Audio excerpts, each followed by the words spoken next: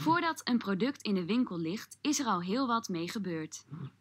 Er zijn meestal verschillende bedrijven nodig om het product te maken. Vraag jij je wel eens af welke bedrijven allemaal hebben meegewerkt aan een broodje gezond? Een broodje gezond maak je van brood. Als brood wordt gemaakt, noem je dat produceren. Produceren is het maken van die goederen en het leveren van diensten. Het brood voor je broodje gezond is het eindproduct dat jij in de winkel koopt. Aan dat brood hebben verschillende bedrijven meegewerkt. Alle bedrijven die meewerken aan een product vind je terug in de bedrijfskolom. Bovenaan de bedrijfskolom staat het bedrijf dat de grondstof uit de natuur haalt.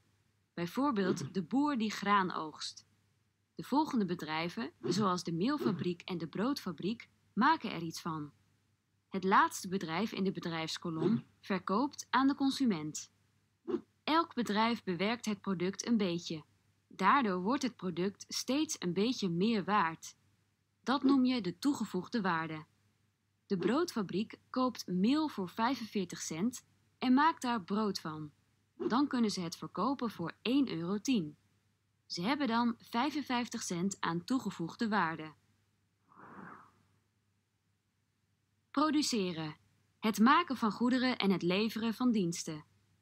Bedrijfskolom. Alle bedrijven die meewerken aan een product. Toegevoegde waarde. Hoeveel een product telkens meer waard wordt doordat een bedrijf het product bewerkt.